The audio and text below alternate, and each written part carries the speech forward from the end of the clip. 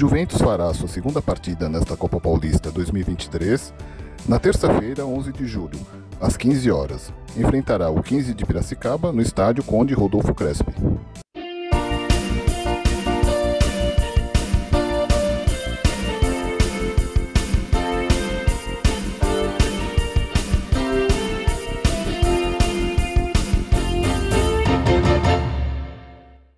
Na partida de estreia, o Juventus foi derrotado pelo Red Bull Bragantino por 5 a 2, no estádio Nabia Bichedi, em Bragança Paulista.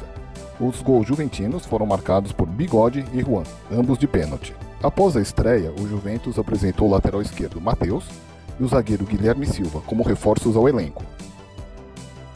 Na partida de estreia, o 15 venceu a Ponte Preta por 1 a 0 em Piracicaba.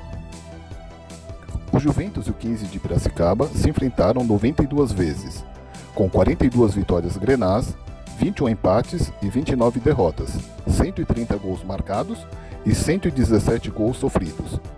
A primeira partida foi pelo Paulista A1, em 24 de julho de 1949, goleada juventina por 4 a 2 na Javari. A última partida foi pelo Paulista A2, em 28 de janeiro de 2023, empate sem gols, no Barão de Serra Negra, em Piracicaba.